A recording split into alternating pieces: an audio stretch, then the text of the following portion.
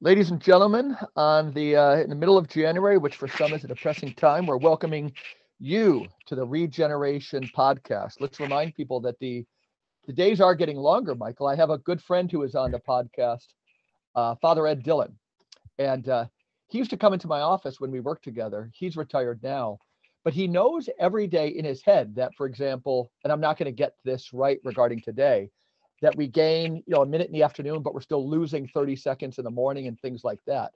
And I asked him, I was driving him to an event last Saturday, and he was telling me what was going on for the next week down to the the nanosecond. And I said, like, this is kind of weird, you know, that you're into it so much. And he said when he was over in Rome, that he just became obsessed with it.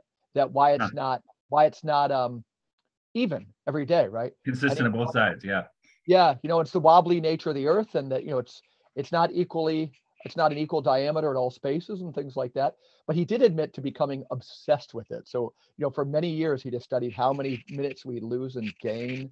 Um, but the uh, february is a great month because we're kind of gaining a lot. Really march is the the one where we gain the most. Yeah, but you really notice it, I think, right around Candlemas. yeah. That's when, you know, you can really feel the difference. I mean, I, i'm definitely noticing, of course, I always wake up with the sun. Yep. Uh, which is in the summer, I wake up at 5:30. and in the Yeah. winter, around this time, I wake up about 7:30, quarter to eight. it's good for you yeah But sense. uh here though, I don't know if it's the same there. I imagine it is, but I, my son in Colorado said it is. It's been so cloudy. Yeah. Well this uh, rochester new york is known as one of the cloudiest in the country we just get all the great lakes clouds even if it's not Yeah. raining all the time And I'm in the Great Lakes, and we are we have the Great Lakes, but it's been cloudier even than normal, Mhm. a typical winter. Do you get a does it do you let it get you down or like what's your approach to that? No, um, but it does. after a while, you're like, when's the sun gonna come out? I think we've only seen the sun once or twice since Christmas. Yeah. Uh, Even but I do take Albany in, in the winter. I take vitamin D3 and magnesium, as do I. which seems to help. I don't take it during the summer because I'm outside all the time, but, Uh-huh. but I do it do it during the winter. Yeah, well, again, we have our students even from Albany, not too far away, to a certain extent, Syracuse, New York, uh, just an hour and a half east, and they're shocked, shocked at the amount. Really? Of, yeah, the difference between sunshine. And I have a daughter in New York City. It's not sunny all the time there, but she, um, and the abbot of the monastery where I worked, he finally admitted last year. Uh-huh. You know, it's uh, he's been here for a long time. It's just Well, he's from India, right? Yes, he was born Yeah. in uh It's a little sunnier there. yeah, he was born in Qatar and then but spent most of his childhood in Mumbai. and uh yes, it's it's a it's a force to be reckoned with. So um and again you said uh Candlemas. Um we'll talk about you know this guy Coventry Patmore maybe for a whole episode one time. Again, under under a deceptively I think it's a name that's off-putting. We think we're just gonna get and he did write a poem, a famous poem about just domesticity, which can be a little bit saccharine. So when when he broke out, when he broke out, that guy was crazier than Manley Hopkins, Dante, and the most erotic love poets put together. Yeah. I, Yeah. I published one of his poems in the first Jesus Imagination, I think. Yeah, he's something else. And uh, he he has a beautiful poem on Valentine's Day, where he he wonders, you know, why do we host this day about love in kind of the middle of winter? And different from Candlemas, where we know maybe in the Steinerian worldview, the seeds start moving underground. He Mhm. noticed the same thing around Valentine's Day. You know, that love's first bloom. Yeah, Yep, yep. it's very close. Yep. So again, when we're not seeing the sun and when it's cold, there's other things we can be focusing our attention on. That uh, you know, there's always movement. So, but today, speaking of movement, Before we go there, good. Tell me. so I had a. You probably heard that Jeff Beck died this week. Yeah, it was real sad. I was too, and I think we should let's have a little quiz for our listeners. Let's see if I can do it. I'll play a Jeff Beck lick, and they have to guess. You, you you can guess, and if you don't guess what song it is, we'll have our listeners. There it goes. Okay. Okay.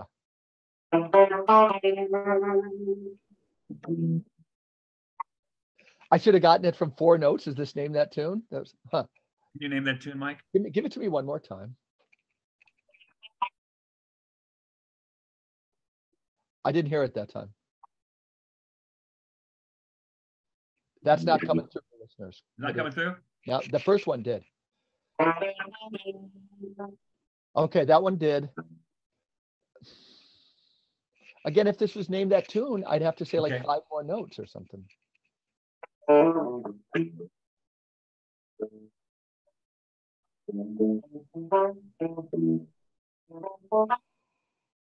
I'm know, embarrassed. I'm Okay, embarrassed. we'll have to wait for somebody else. This is great. So we'll see. Listeners, what was the number one? Now here's number two. Okay.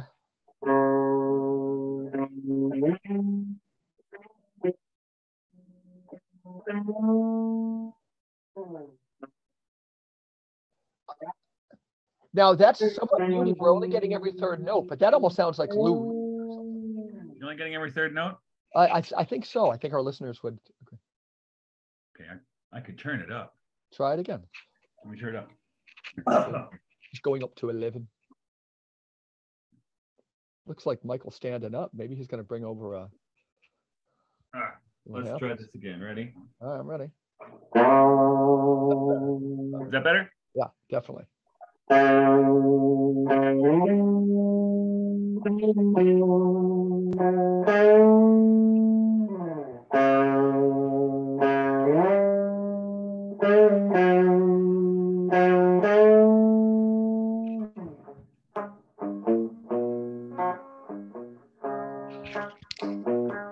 What's wrong with me? You can't get that one either? No, I think you know my friends from college are going to listen to this and mock me out. We were in a we were in a garage band and we kind of patterned ourselves on Beck Bogert and uh, And Appice? Okay. yeah, and I was Okay. Tim Bogert. I was the bassist. Yeah. Now here's the last one. Now I hope I remember how to play this. I haven't played it in a long time. People are. You got it. Yeah, okay.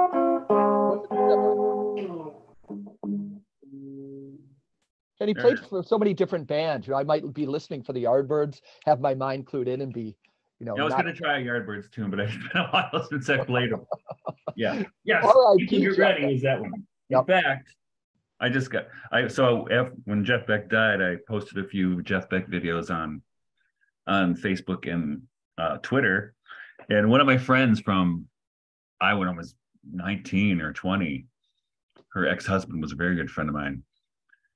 And uh she said, Oh, and I posted people get ready, and she said, Okay, Mike, now you have me bawling because it's a beautiful song. I mean, it's a It gospel is. song that he did with Rod Stewart in Yeah. about 1985 or so, which is beautiful.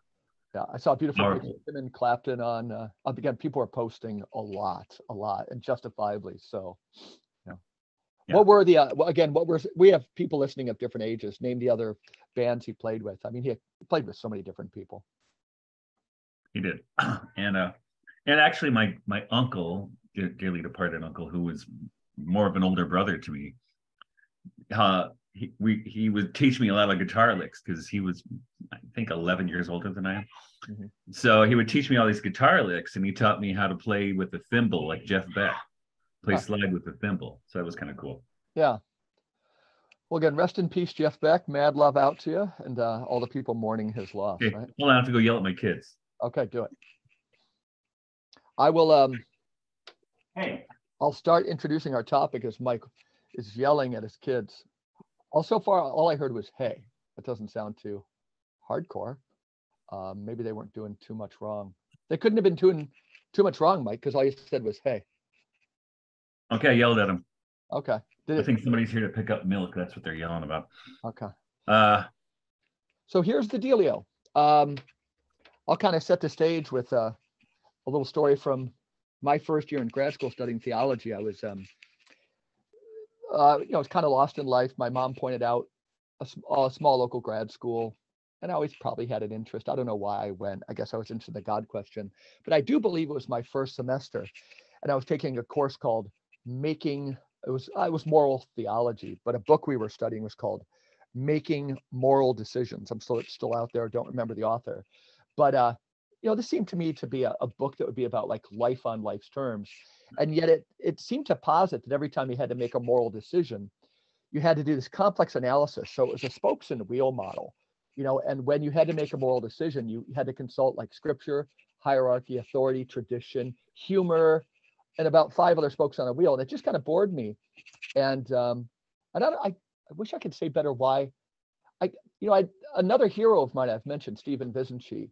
You know, mhm. he he said, like in a chaotic world, moral decisions are the only rational ones, right? That mostly evil done in the world is done with like overthinking causality. So th- think of the Vietnam War. You know, people thought if Vietnam went communist, the whole of Southeast Asia would go communist. So it was causality. Right. And then so we we just bombed the shit, you know, out of a whole a country. Anyhow, uh, the footnote to this page that kind of arrested me with its boredom, depression, something. Uh, at the bottom, it said, of course, there's these people, um, and it implied that they were probably lunatics, but who believe in anti-consequentialism.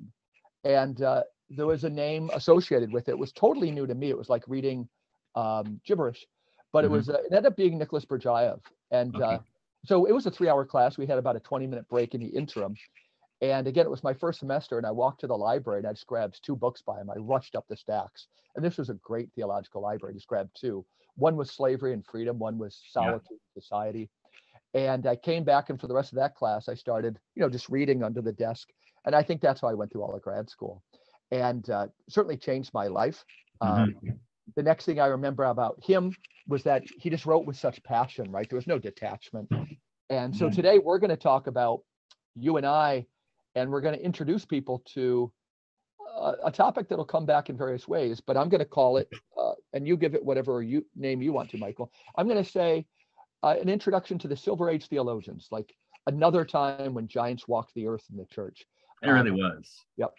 Talk about your and how did you first discover the first of them? So I think it happened with me. Uh, I was working at this bookstore, and uh, one of the customers, I get you know chat chat them up all the time. I'm talking to this guy, and I told them that I had gone back to praying the rosary, and I was not a practicing Catholic at all at this time. So, and he said, and he knew I was interested in Steiner. Uh huh. And he said, "Oh, so you must know about Soloviev." I said, "Who?" Vladimir Soloviev, the Russian philosopher. You don't know who that is? I said, "No." And so he told me a little bit about Soloviev. So I, I found a book which was not a very good book. It's Paul Marshall Allen's biography of Soloviev.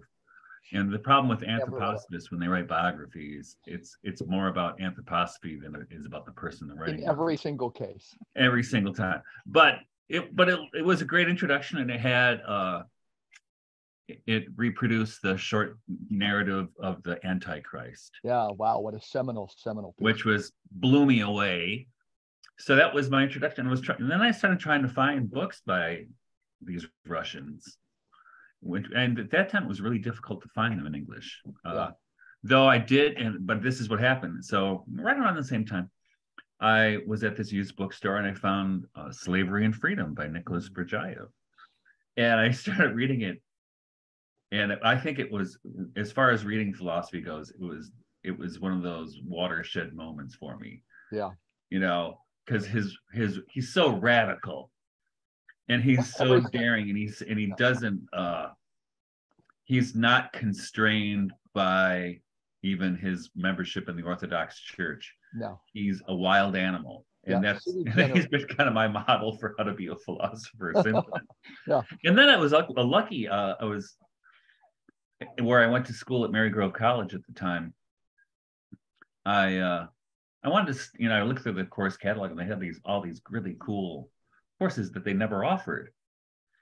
And I went to the, and I was an English major, and I went, and they were all courses in philosophy and theology. And I went to the to the head of that department. I said, "Yeah, you wanted to take these classes, but you never offered them. Goes, How about I just give them to you as a tutorial?" Hmm. And I would do these tutorials with him every semester for a few years. Who is this professor? His name was George Elser. I love him dearly. And later he was my colleague there. And uh, George was working on a PhD at Oxford under John Macquarrie, hmm. and he he bailed basically during his dissertation because he said he you know, he was doing it on, on Berdyaev, I think. Yeah. And he said, "Doesn't matter. All this stuff doesn't matter." So he stopped. He was enlightened. And uh, but what he was doing with me is he was giving me Oxford level tutorials at this little liberal arts college in the middle of Detroit. Wow and one of the one one of the tutorials we did was on Christian ex- existentialism. So I read Berdyaev and I think we did Kierkegaard and Jaspers. Mm-hmm. So it was really, but the Berdyaev is really what got me going. So he's still your favorite of all of them, you would say. I, for a long time, I would have said Soloviev, but I think over time, I have realized that how much more of an impression the Berdyaev has made on me. Yeah, yeah. I noticed. So Soloviev probably my introduction was through Berdyaev. It took me to wanting to read more at this library. I think the next book I got was, uh, you know, it was just Ultimate Questions, a compendium by uh, Alexander Schmemann, which had mm-hmm. seminal essays by Soloviev, Berdyaev, Bulgakov. This mm-hmm. guy, you know, Pavel Florensky. I'm not. Well, we know him. Uh, Vasily Rozanov is one I want to be more known. Again, in, in this compendium, Ultimate Questions, is an essay I've mentioned before, Sweet Jesus and the Bitter Fruits of the World. Mm-hmm. Was like their court jester. You know, all these guys were running, complimenting each other, and he wasn't undermining them, but it was point counterpoint. And I, for me, I don't think we can understand these Silver Age guys as a group if we don't get Rozanov. You know, he was so connected to matter, um, just uh, preternaturally. You know, and so um, he's such a nice compliment. And then, um, but I think all of a sudden when I started reading Soloviev, uh, and uh, probably in particular the meaning of love with the introduction by Barfield, which is just great. Yeah. Uh, he's probably been my guy. And again, the short tale of the Antichrist is that that, that crystallization of just mm-hmm. so so much. But uh, you know, I go back and then I did read um, the major and minor trilogy of Bulgakov and so forth. But you know, let's break these guys down a little bit. Um, okay. One other thing about Berdyaev was, uh, tell me if you agree uh, with this. Is uh, our experience on reading, it's kind of like an earthquake. At that time, again in grad school, it seemed to me that theology in the West, and I also want to talk about, you know, Orthodoxy and Catholicism. I was mentioning to you before we came on that there's a phenomenon in the Catholic Church, you know, the rad trads. And you and I don't beat up on it totally. We understand it, but we wonder if it's, you know, can tell the full tale. Um, but there's there's also another one who are seeing, you know, they don't want to go that direction, but there would just be maybe to me and I get the motivation and oversimplistic answer that all questions would be found in just like, you know, uh, going the opposite way of the Tiber and becoming fully Eastern Orthodox. Nonetheless, the uh, one experience I did have, and I give kudos to the Orthodox, is that in so much of the theology I was taking in grad school, and it's a great place. A shout out now to St. Bernard's Institute in Rochester, New York. Really neat things are happening there, and I it's I did get a good education there.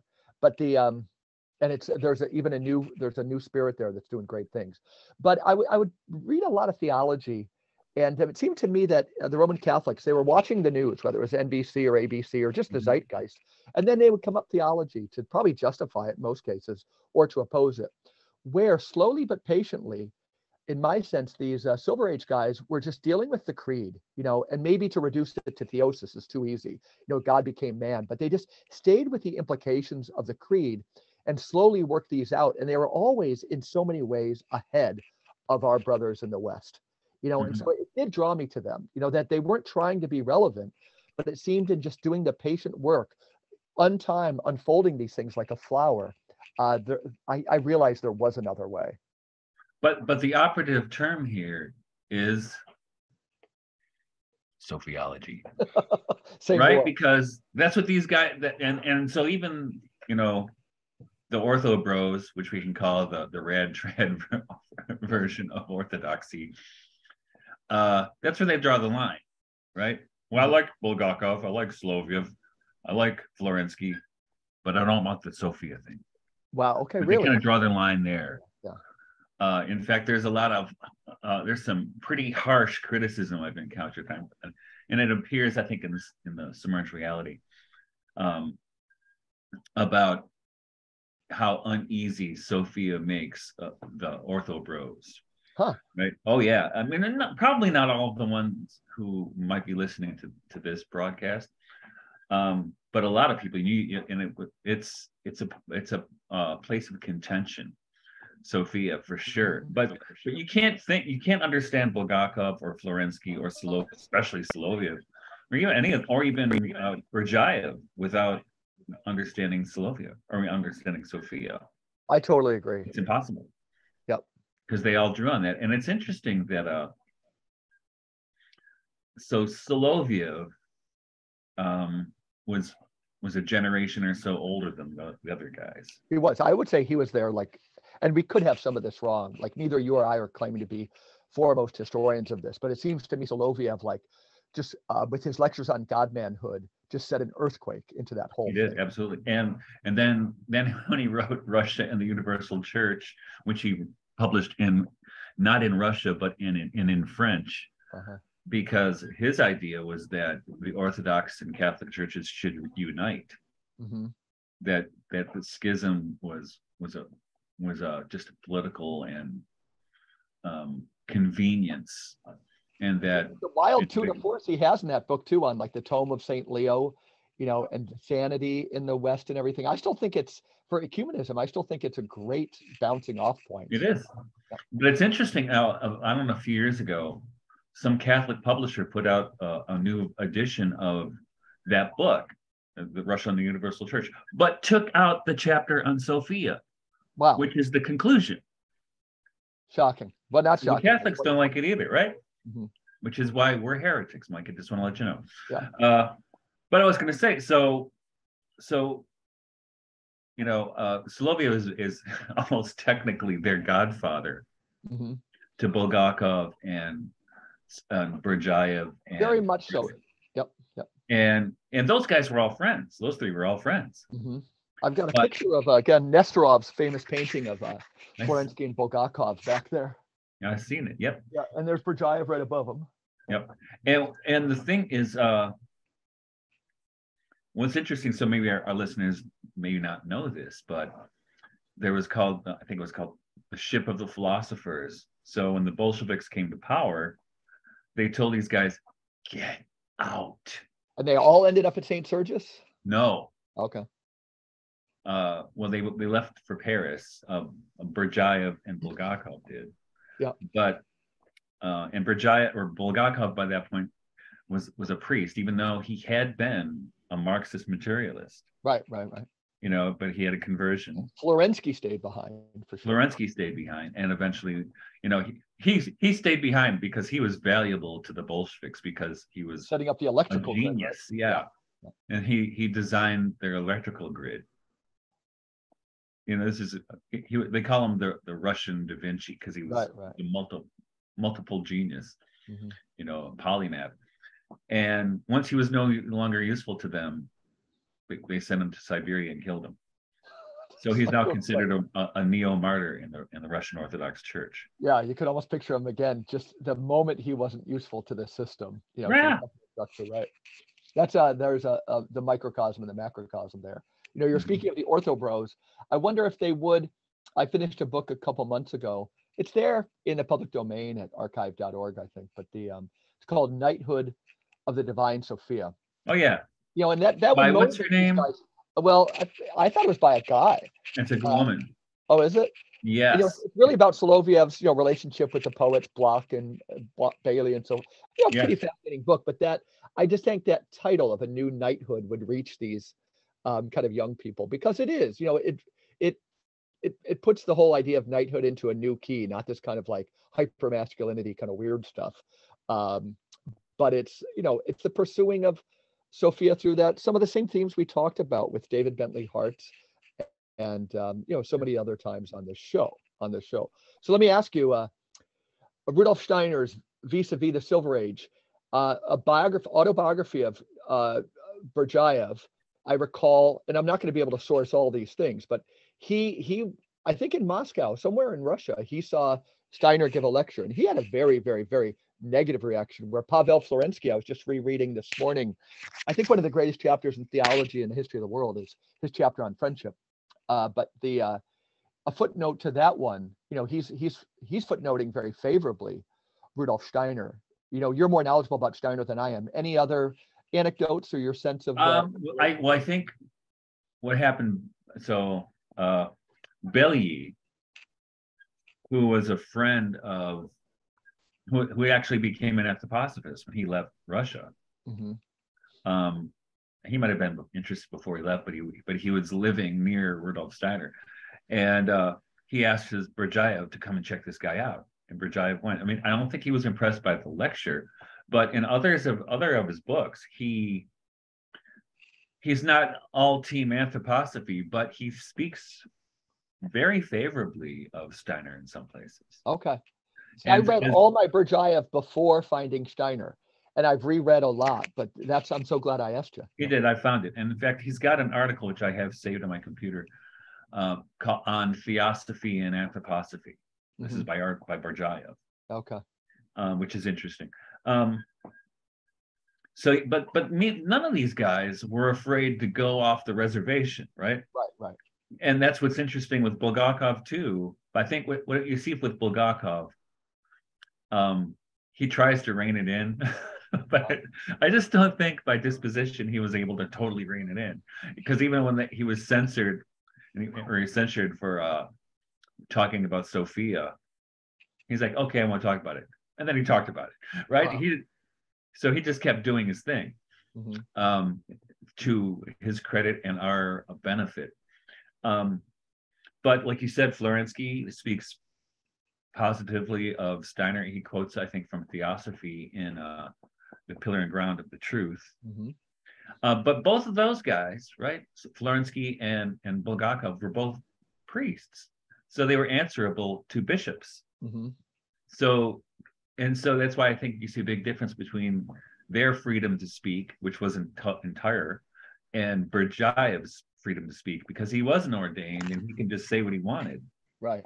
right? And uh, interesting with though, and the same thing happened with Soloviev. I mean, he was not ordained either, but you know, he endured a lot of of criticism and censure because of his ideas, right? Sure. They didn't like it Mhm. and I and there is a there's a thought that when he was sick toward the end of his life that he was received into the Catholic Church. I don't know if it's true, but I don't think he would have thought it as being received into the Catholic Church because I think and, and I feel like this myself that there's not really any difference between the Catholic and the Orthodox Church. And right now the Orthodox bros are losing it for saying that. They did. I had when I when I was interviewed by Jonathan Pageau a few months ago, some people because I described myself as a Byzantine Catholic at the time, and uh, and I said basically there's no difference between Byzantine Catholic and Orthodox because there's not.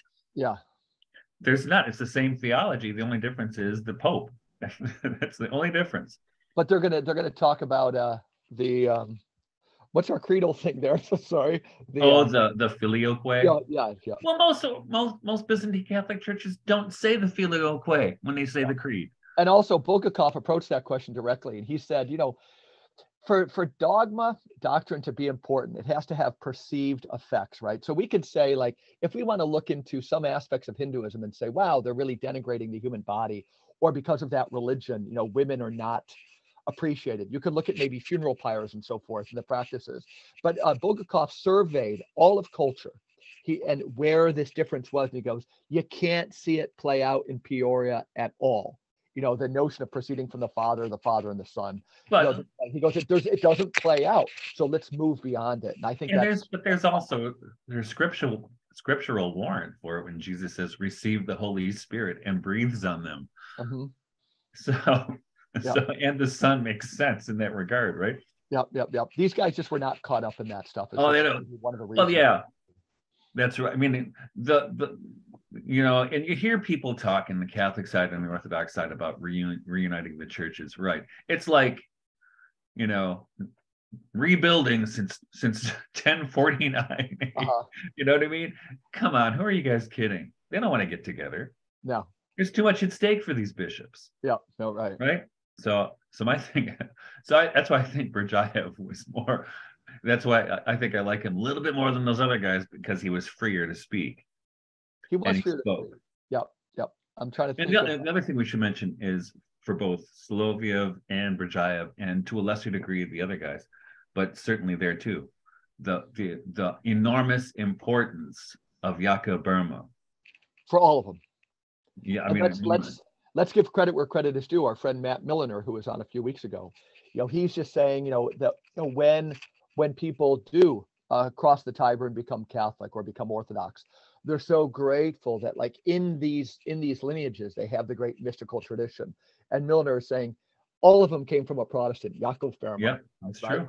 and we need that wake up call and again your specialty in the english the anglicans and so forth so um you know it's almost like the human mind you know we are still tribal we look for reasons even though the the great case against it, like Boehme, is uh, hidden in plain sight. You know, but you know, we we become Catholic, we become sacramental for this great mystical tradition, and Right. there it all stems from Boehme. but I think this is what you know, like I've mentioned before, that uh the original subtitle of the submerged reality was something like ecology, ecumenism, and whatever else it was. I can't remember. But ecumenism is a is an important facet of sophiology, and you can see it in these thinkers, right? And especially especially you see it, you know, clearly in Soloviev, who is arguing on behalf of uniting the Catholic and the and the Orthodox churches and thinking that the, the Protestants will follow, which is actually what the theme of the narrative of the Antichrist It is. right? It is. That's what happens. And, and I think it's no, important to, for those of you listeners who have not read that book, find it. You can, I'm sure you can find it on uh, for free online. You can might be the short story of the Antichrist. Sometimes it's called It that. It should be on the bestseller list right now, so it's so topical. It should be because what happens at the end of that story, or uh, uh, through the course of the story, is the Antichrist wants the, the churches to offer incense to Caesar. Mhm. And two thirds of all the churches go along with it. Surprise, surprise. Yeah, and then finally the character. Now it's beautifully symbolic. The the three leaders of the of the three churches are Pope Peter, the Elder John, and Professor Ernst Pauli. So it's it's Peter, John, and That, Paul, that right? can take us pretty far, I think. You know, let me mention another name. You know, a real, a great descendant of these people is Olivier Clément, um, who is another Russian who spoke in Paris. He's got a book called On Human Being, which is totally and utterly seminal. I have a feeling, though I don't know Russian or French, that the translation to English it feels kind of uh, Clunky. late, kind of heavy, clunky. It's kind of um, he had a book when Pope John Paul II, I think, and it could have been early Benedict, called for different theologians to submit their their understanding of Peter. The best one of the bunch, you know, there was a bishop from out in L.A. who wrote one. A lot of people, and I read all of them at the time. Uh, was by far the best, and he did use that as kind of a framing. You know that the Protestants were the Church of Paul. You know that Peter was wrong on circumcision, folks. He was. Paul corrected. him Yeah. Paul corrected him. and that you know John was the more Eastern mystical church, and Peter was the more kind of hierarchical structure one. Yeah, Um, so we don't want to get locked up by that, but I want I, I can only speak for myself. It's but not- that's what Soloviev was drawing on. yep, yep. That's exactly what he was drawing on. But the the for me the interesting thing is is is that the remnants of these three churches unite at the end. And the reason they unite is because the elder John stands up in this big assembly of all the churches and tells the Antichrist, We would be happy to follow you. Yeah. All you have to do is confess Christ right now. Mhm. And you can't You do it. You can't do it, right? Right. Do you think there's an analogy? You said in the short tale of the Antichrist, two thirds of the people went with the Antichrist during the um, uh, what they call the Concordat in France during the French Revolution. I was studying these statistics. You know, how many how many priests when uh, it was called the um, you know when they set up the national church. You know, all these names should be right there for me. But you know, you had to sign the loyalty oath to the nation. About, I think that the understanding is that like when these things happen, like when the COVID crisis happened, it seems to me like a certain percentage, I had to guess how many, uh, just kind of they loved being wardens of the biopolitical state, especially the Mhm. state.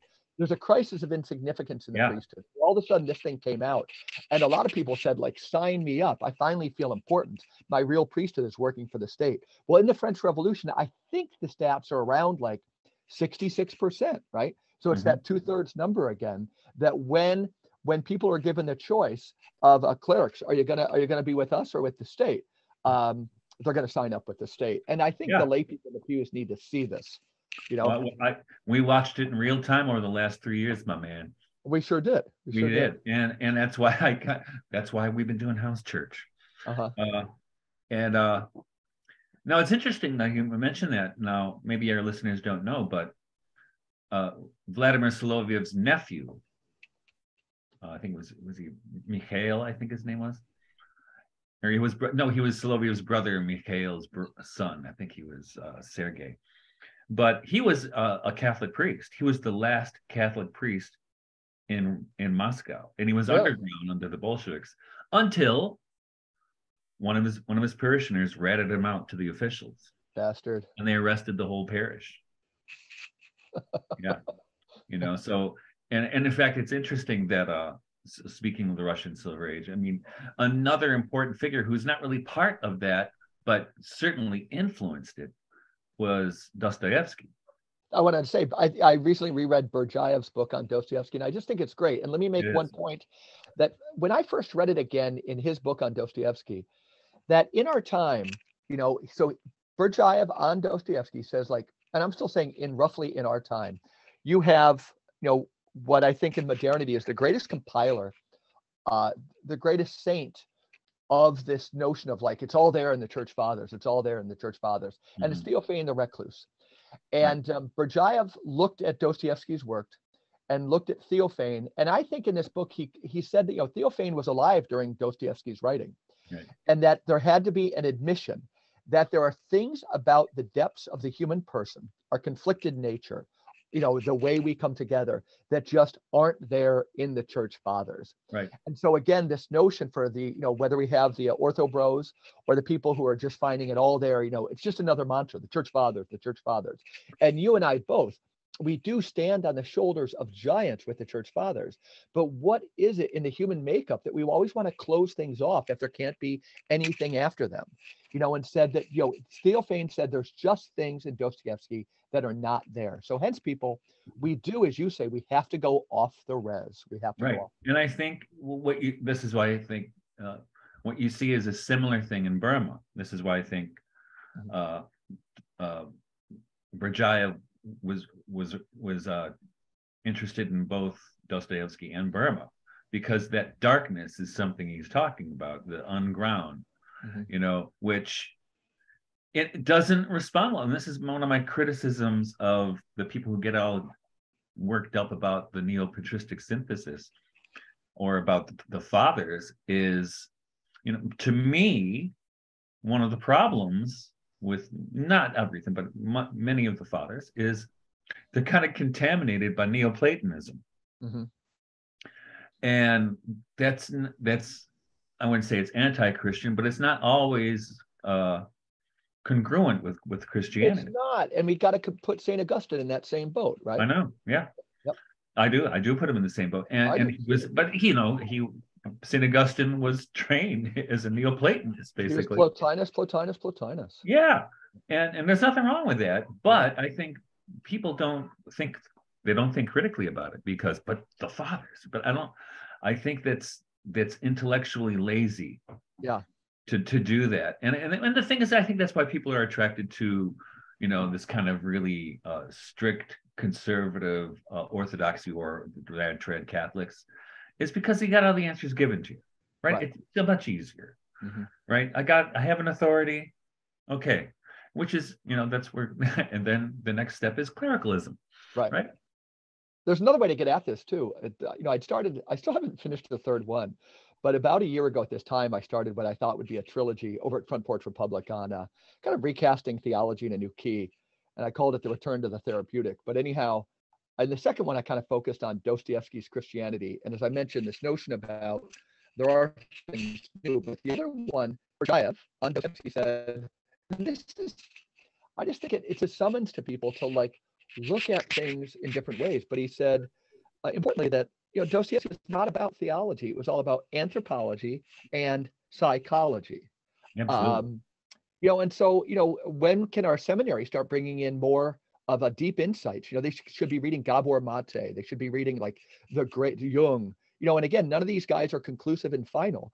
But like, wouldn't our churches be different if we were reading into the depths of the human being? So anthropology and psychology. And let's yeah. just admit that theology you know, I, I mentioned, I'm going to repeat something that um, uh, I, I, spent a whole weekend about two months ago listening to a local, the St. Bernard's Institute.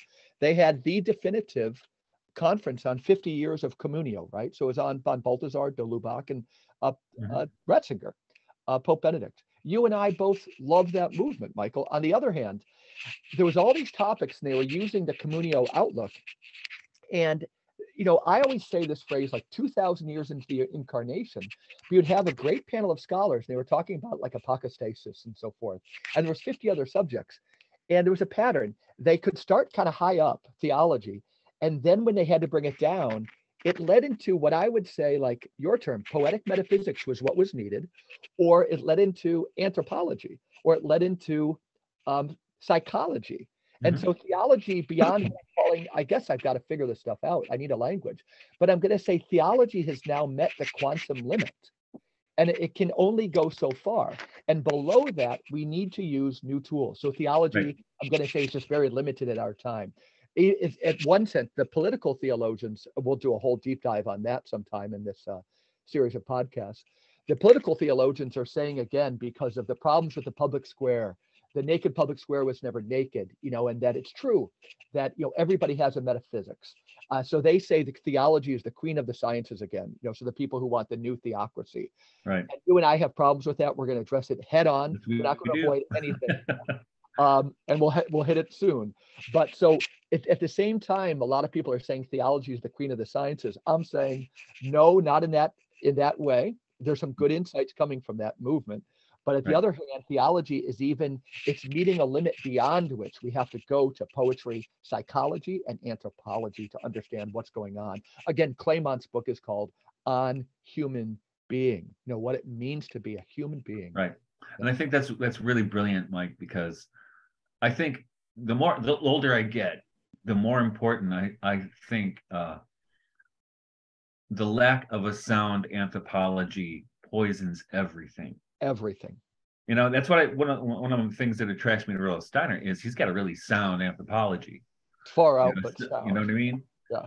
But but just even if you don't even talk about reincarnation and stuff, but when he talks about the different bodies, the physical Yeah. body, the etheric body, the astral body, and the ego, that's a sound anthropology, and he and he applies it to child development, which is really really helpful and wise. But I think, you know, I grew up in Catholic schools. I've taught at a Catholic college, and I I have yet to encounter a sound anthropology other than man is born in sin and needs Christ for redemption, right? Let's talk about original sin too of these That's guys. it. That's not anthropology. That's that's uh I don't know what that is, but but I think and, this goes back to the fathers as well, right? Um here I'm gonna pull something off my bulletin board right here. You're gonna yell Let's your talk. I want to talk anthropology. Let's talk anthropology right there. There's Adam and Eve. Sure. Adam and Eve. Uh, now, in in the fathers, you encounter the notion not with- not with- not universally, but you encounter the notion that where they question. And this is something I got I read from first in uh, another silver, well, kind of a late Silver Age theologian. Uh, oh my gosh, what's his name? Paul Oh, uh, Evdokimov. Paul Evdokimov yeah. where some of the fathers questioned whether women even had souls. Mhm. And then you read Tertullian in his book, uh, in the English translation is On the Adornment of Women, where he basically accuses women for being pretty for causing not only the downfall of, of Adam, but the crucifixion. right, right, right. you know, come on, you psychos And it's there in Aquinas. We have to get admit. out of here right so it's that's so that's an anti-anthropology an and I anti-anthropology. think Wait even and i correct me if you think i'm wrong but i think what we see now with all the gender stuff going on in culture i think this really lies at the feet of the church Say for more. excluding sophia from the anthropology Yeah. and another orthodox theologian who had been catholic uh Alexander or Alexis Mensbrugghe was Belgian and be, he was a Benedictine and became Orthodox and eventually an or, archbishop. And he writes in his book uh, From Dyad to Triad, which I think came out in 1930 something. This is what I'm not familiar with. It's hard to find. I I I I had to do when I was at Marygrove College. I had to get the library to find it. So they did a search. They had to pay for the book to be delivered, and I copied it because there's no way you're going to find this book. But in that book, he's he suggests that when uh in Genesis, when God says, "Let us make man on our image," he's not talking to the, the son and the and the and the spirit. Well, he might be too, but he's actually speaking to Sophia. Yeah. which Mm. makes more sense. You can- Man you can is draw a lot from it. Male and female created he them, right? Mhm. Which comes right after that. Right. So I think that's. I mean, I think Genesis offers us a, a pretty sound anthropology. Well, even even the theology. great Jacques Ellul, whose picture is back there too, you know, there's, uh, I think it's a subset of a book, but over at like a Christian anarchy page, you get a great essay on like morality and women. And he says like when society, when society comes out of control, like it's doing now, there's a huge temptation in history to like just um, instead of be nuanced, you know, and to find the moral law, comes out with a moral code and thwaps it on. And he mm-hmm. says in every case, women just get like screwed by that. They get hammered. Well, they're getting hammered right now with the gender stuff, right? They are, they are. And he, he knew that, you know, and again, this will seem cliche to some people, but if you look at creation and Genesis, as you're saying, you know, the, the woman is the crowning glory, right? She was the last thing created coming out of Adam's rib. Um, mm-hmm. And, you know, it's not just a, it's not yeah. a, what they call in academics now, like an interesting move uh, in the hands of somebody as kind of uh, biblically astute as Ellul, a rare find in the 20th century. This guy was Barth you know, he had all Barth's knowledge and more about right. the Bible. He wasn't just throwing out a move there. You know, this guy was deeply, his whole life was the the narrative of uh, Holy Writ. And yeah. you're right, all these things screw women over. Yeah, and you remind me of when you talk about women, be, women being the crowning of of creation. Is there's a great line from Robert Pome's song slash poem "Green Grow the Rushes," which is which says, uh, about God. His prentice hand he tried on man, and then he made the lassies. Huh. Right? Is that the one where you posted Steve Winwood singing that song on a? Uh, I posted Dougie MacLean singing that one. Okay. It's a really one of my favorite songs. In fact, my wife and I sang it at my son's wedding. Wow. Green Brother. It's a beautiful song. Yeah, yeah. Uh, yeah. I mean, so, so, so that's what's interesting is these Silver Age theologians, especially the ones we mentioned, tr- I think they were issuing a corrective to a faulty Christian anthropology. Yes. Yep. Absolutely. By introducing Sophia into it. Mm-hmm. Because you know it's not, and it's not like they were, and this is what I don't like about so many feminist theologians who never mention these guys for one thing, but also appropriate uh, Sophia as a political figure, right? Mm-hmm which I think is totally wrong. And it, I don't. I read that stuff and it makes me sick to my stomach right, right, right. I think that's exactly wrong. That's that could be more wrong. Yeah. Like uh, what's the name? Elisabeth Schussler Fiorenza. Yeah. Horrible. I mean, I read that stuff as in graduate school, and I was like, come on. Yep. Um, Milner but, was great on that stuff. If people want to go back and listen, he knew how to separate the wheat from the chaff. Yeah, he was good. He was good. Um, and I went to, you know, I went to a, a Jesuit college or university for my master's degree, and that place was that place was just rotten with that kind of thought, mm-hmm. um, as you can imagine. Um, but but was, anyway, what I was saying is I with uh this restoration of Sophia to her proper place in theology and um, anthropology, there's this great opportunity for for healing. Mm-hmm. Without you know the politics always poisons things. Right. But you know, if and this thing it's very biblical and it's very commonsensical. Um, people always say it's such a mystical thing this stuff. No it's not. It's very phenomenological and practical and if you just look at things as they are mm-hmm. they will reveal themselves to you and this is what it reveals and this is that what Mensbrugghe for reading of Genesis tells me for instance yeah. and I think even if you go into uh, Bulgakov when he, this is as sophiological as it gets, when in his book on the Holy Grail, and he talks about the earth itself as the Holy Grail because it held the blood of Christ, mm-hmm. and that the earth itself was transformed at that moment into a, a living being as it was dying. And this is, and I'm sure he got this from Steiner. This is one of Steiner's key points. Mm-hmm about the crucifixion, which is what made Steiner break with the Theosophists because he's started to see not only the spiritual but the ontological significance of the blood falling on, on the earth at Golgotha. Mm-hmm. Right? That it it changed everything. everything. And it's not just that's not a conceptual idea. That is his essays on the Mexican mysteries. You can see that Steiner wants to posit that things happened in the American continents at the same time. Mm-hmm. So he was uh, there's a great guy again, Stephen Clarke, C L A R K E. Yeah. But it's great stuff. But he, again, Steiner had a lot of the dates wrong. There wasn't too much information and things, but he was still pointing to something really powerful that Christ's salvific death and the blood hitting the earth over in Palestine influenced things in Mesoamerica, right? Yeah. Well, uh, and you know, there, there's a story too that in Greece. Uh, I can't remember who wrote this. I wrote about it in Sophia in Exile, but uh, that at the moment of the crucifixion, sailors heard a voice coming across the sea saying, "The great Pan is dead." Yeah, it's beautiful. And where Bede, and I think it was Bede, interpreted that as meaning Pan, the god of you know the, the favorite god of the, the the Greek peasantry, was dead. But other interpretations mean that whoever was saying that felt that life itself was dying at the crucifixion. Right, that, right, that, right. That Christ was really the great Pan mm-hmm. in that sense, right? Yep. So, so, well, so there's a lot going on there. There's a lot going on. Uh, remember when we had David Cayley on? Maybe he was two of our first three episodes, but in his you know seminal book on Illich, he he has a chapter that I think got excised. Maybe it's still in there. But uh, when we're talking about an anthropology and a psychology being so necessary, in order to get at Illich, he felt he had to take a digression into say like whatever happened in the West about the question of man, you know. And again, he said maybe it was the language that all of a sudden if you had to say like man, human being, but he just he just and I'd have to go back to it, but it's kind of like what we're getting at. But in the West, we just started just doing theology again when there was a seminal moment where people are asking like, who are we as human beings and so forth? And he, you know, that guy's pretty polymathic in one sense. He just said it was like uh, you know, like strangled in the cradle, this question about man in the West. And we just need to pick that up again completely. absolutely. Yeah.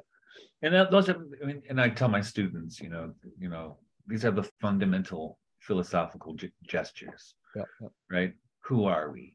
Mm-hmm. Why are we here? Very simple questions, but they're so hard to answer, yep. right? Yep. One more, one but more. They're worth investigating. Absolutely. Another, uh, we mentioned Berdyaev, and we're going to do a whole show on him hopefully very soon. We're looking for the right person. The um, reading a book, you're going to hear more about this guy, Gerald Heard. He was one of these people hanging out with Alan Watts and Aldous Huxley out in California. It right now he strikes me as uh, light years ahead of all of them. Um, didn't really know of him, maybe because Christ is so central to him. You know that would explain it all. But mm-hmm. uh, he was in a book I'm reading now. It's called The Eternal Gospel. He's got some footnotes on Berdyaev, and just uh, this is another commonplace observation. But he wondered, you know, the focus on in the West, which we see pronounced in the evangelical tradition, again, not everything bad about that, but right. on redemption. And he thinks, you know, the Berdyaev noticed that in the East, and these Russians were playing, we think of Bulgakov's book called The Comforter, but the Holy Spirit did have a bigger role. So we want to say why young people could be drawn to that.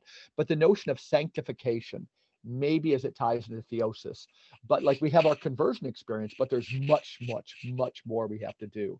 If we want to say that the Eastern tradition and the Silver Age theologians got that better than most in the West, then we're supposed to say, props to you. You know, an insight granted. We need to learn from that. But mm-hmm. how it plays out with everybody saying you have to like now join a completely different church or something. And I that's guess, yeah. That I, I and that's why I think where Berdyaev really comes in handy. I mean, because a lot of these people, and they're probably not reading Berdyaev because he's so apocalyptic. Because the, the ortho bro gesture for a lot of people is, well, I'm, now I'm safe. It's like, you know, I made it to the Orthodox Church. And the, and the rad trads do the same thing, right? I'm safe. I'm safe. Let everything else die. Uh-huh. But, you know, Berdyaev says, look it, we were supposed to save the world. Yep. And now Christianity is about to be extinct. And he was saying this in 1930 something, mm-hmm. right? Mm-hmm. Right. You know, and he asks, we have to ask if the future belongs to man or to something else. And he's right. talking about technology. Mm-hmm. Right. So so he's so he's a, he's a, he's scary for a lot of people and well he he should be because he think he's telling more truth in a way than the other guys who are still constrained by their their clerical vows of obedience. Yeah, you know, who did he love in the West? You know, he put you in touch with uh, Mickiewicz in Poland. You know, there were some radicals all around. You know, and Berdyaev knew how to find them. His again, his little notes at the bottom of the pages. He put me in touch, to be honest, with Leon Bloy. You know, who's a yeah. Catholic. Um, in his book on the Jews, um, and he helps you get access to Bloy, like what to read, what not to read. And all I've read all of Bloy, but uh, uh, it, it's again these people are found everywhere we just you know we need to find these people who are exploring who are who are daring and not playing it safe you know um, how about as we kind of get close to winding up tell people like if you were if we had some listeners who, and I'll try this after you. Um, you know, I noticed when I was looking at Berdyaev's titles, so many of them are. Uh, so we have, you know, the meaning of history, the meaning of the creative act, the destiny of man. There's that question of man again. Uh, Dostoevsky, um, but a lot of the other ones are slavery and freedom, beginning and end, the divine and human, spirit and reality. Um, if you were just not just on Berdyaev, if you were to invite people into exploring kind of this wonderful constellation of authors, um, kind of step by step, not giving them, how would you invite them in? And I'll try it after you. Um, I would say, you know, I probably more accessible books by Soloviev. I I would say uh, uh, le- lectures on divine humanity Mhm. for certain, and actually the Russian and the Universal Churches needs one to understand too. Yeah. But also so is the meaning of life, love. But where he gets into the heart of his teaching is really in lectures on God manhood. Mhm. Um, Berdyaev, he's just kind of he's a wild animal. I think the first thing They I, I read say was slavery the creative act is his best, but uh, or his most pathway. I read, yeah, but I, I love. I mean, they're all basically he writes the same book every single time he writes a book, but adds Yeah. more stuff. Yeah, yeah. So you can almost jump in any place with with Berdyaev. Bulgakov. Now I don't I don't know if it's as as readable and in translation as available. That one, Sophia. I don't think it's very good. Or maybe again, the one translation you and I both read. Yeah. I mean, I don't know because I that's the first one I read and I couldn't get into it. Though I do think uh the one where I did get him was the book on the Holy Grail. Right. And the other one is uh um Bride of the Lamb. Yeah, that's that's. I would say so. Bride of the Lamb is probably the one I've spent the most time with. Yeah. Um, but continue. I'll go on after. No, I think that, I think that's that was I think that's a really a rich rich text right there. yeah, yeah. And that that whole trilogy is really is really worth Mhm. your time. Um, um, and, and Florensky, there, there was a lot of there's more out by Florensky now, but the text is uh The, the, pillar. and ground of the truth, Yeah, yeah. which and I gave a lecture at Cambridge back in September via Zoom because my mother was dying at the time I couldn't leave. That it was on on on Florensky, and I remember telling them, and they were mostly Orthodox. It was for the uh, Institute of Orthodox, Orthodox Christian Studies at Cambridge, and I remember saying, I said, you know, we should just own that a lot of the things this, this guy says are technically heretical Yeah, yeah. you know because they are i mean we we can't but i think what happens with theologians if they they're they're dedicated to a pers- uh, a- particular perspective of whatever th- their faith tradition is you know but they so they try to fit people like Berdyaev or eh, not Berdyaev but they would both Bulgakov or Florensky into this particular box he sees orthodox see what he means by Sophia is an orthodox thing Mhm. Said, yeah, maybe, but I think he's pushing the envelope. And I think you need to rethink things, which is why people distance themselves from Bulgak- Bulgakov. And they call him the most brilliant theologian, but they can't get with the sophiology. Well, that's all he does. It's all he does. That all- his self. That is his theology. Yeah, yeah, yeah. So yeah. So that- that's just that book, now actually interesting with a pillar and ground of the truth. Uh, it even though he doesn't quote him, that book made an enormous impact on on Valentin Tomberg, Didn't know that. Okay. and I think it is the model upon which Tomberg wrote Meditations on the Tarot. because he has a symbol. He has a symbol with each letters. chapter. Yep, letters and uh, like these uh, the illustrations and an emblem. an emblem. right? Which is Florensky has these different like, kind of uh, early modern emblems that he Mhm. uses, like you see in alchemical texts, whatever. And you also, but but so in in Tomberg, it's the car- cards the tarot, the major arcana of the tarot. But I am certain that was what his model was. That makes sense. Makes sense. I would say um, for Berdyaev, uh, maybe because I'm, I always tend to think of young people, but right now I might hit the theme of uh, it would be fun because uh, talking to young people again the major theme is loneliness right i remember talking to our friend sherry nate heil we were talking about esotericism and exotericism and i almost thought like you know friendship learning how to make friends is the new esotericism because Mhm. all of us we're so lonely and we're reading esoteric stuff like so many young people i know they're just trying to read their tomberg but they don't know how to make friends uh, Right. so i would introduce people to Berdyaev solitude and society Yeah. uh, and uh, then pick up the pillar and ground of truth get it online and again start with the chapter on friendship which is interesting right? Because we have even if we say the crowd is the mask of community and like an individual is the mask of the human person you know just trying to be different. You look at the crowd being different is different than being yourself. Uh, but Florensky in that book what he does is he raises the dyad the person and their friend as the nucleus no longer is it just the individual and he also proves that we can't be an individual or a person without we can never be anything outside of communion Mhm. but um, if you're a young person thinking about like how we need to remake society, you know, and your theme was loneliness, which for so many it is, you know, and suicidal thoughts included.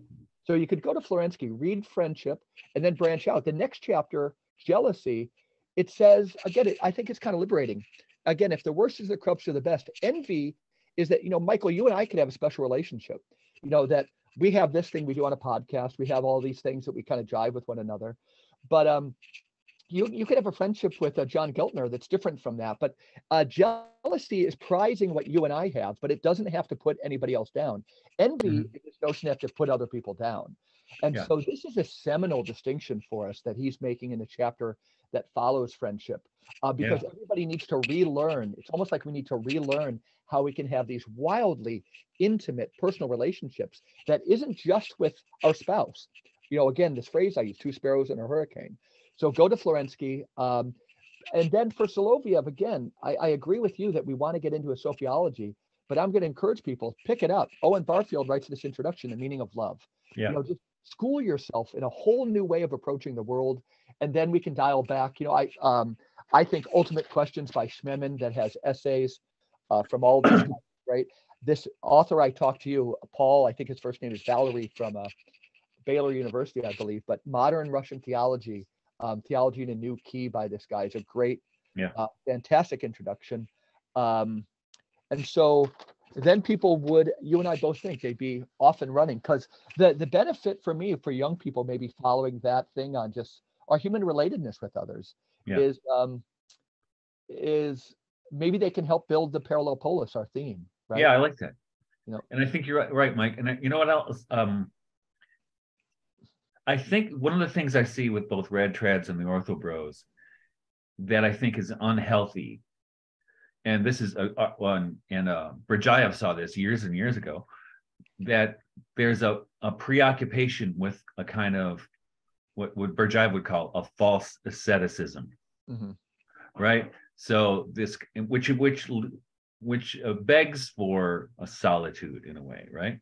Mhm. And how they lionize the desert fathers, and I've even seen this is these were trad Catholics who were were fathers online bewailing the fact that they've have had sex because they're married that it was a source of sin i'm like oh my god just get get thee to a therapist right but Soloviev, who uh, there's a, a tremendous eros that runs through his, and he was in love a few times but never married. Right. Um, and he died at 47. Um, but he had an interesting thing, and I can't remember what book this is in. That uh, that uh, he mentions that, you know, he ta- and he's actually what he's doing. I think he's his book on or his his lecture on the medieval mind or something. But what it, one of the things he said is comparing Western to Eastern monasticism, Mhm. right? Where Eastern monasticism tends toward, you know, um, The right? separating, Yep, being yep. separate, and then the hermitage kind of idea, right? Being separate and isolated from others, right? Mhm. Well, Soloviev does it like ph- phenomenology 101 and says, no, no, no, no. When Christ sent the apostles out, he didn't send them into the desert. Mhm. He sent them to the people. Yep. Right. So that's uh, and I think it's an important thing to keep in mind because there is a there's a temptation with these these uh these radical uh con- I'm conservative, but rad trad or ortho bro uh, movements to well, and you see this with Rod Dreher to a degree too, right? With the Benedict option, mm-hmm. to and it's not and it's not the same thing as the parallel polis that we're talking about. Yep. It's uh rejecting the world. Yep. You know, God, Christ sent the that's what he said. The, he sent the apostles into the world, not into the desert, mm-hmm. right? So the, you you got to figure out how to do this in a way that's not a, a bunker mentality. And can't we bring in a theme that we brought up earlier, which is um, anthropology?